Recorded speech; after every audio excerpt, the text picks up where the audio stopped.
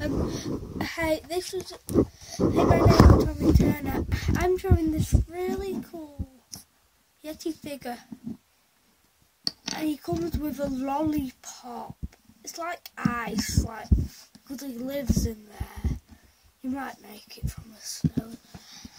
I think it's kind of weird that his like head has just like three lines because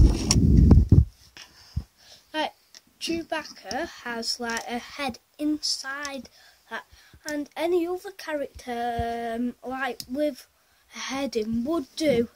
And this is this might be I think the only one with like three lines there and he comes with a stand thing that you can stand on. I never, it's that just downstairs, and and he doesn't have a mouth. He just got two jaws. Looks kind of angry now. now I think. Look.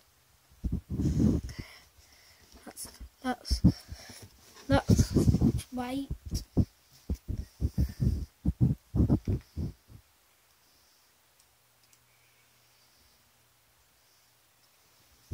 This is him like all of him, just like it.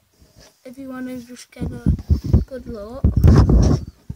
This is white. There he is, that's all of the Yeti.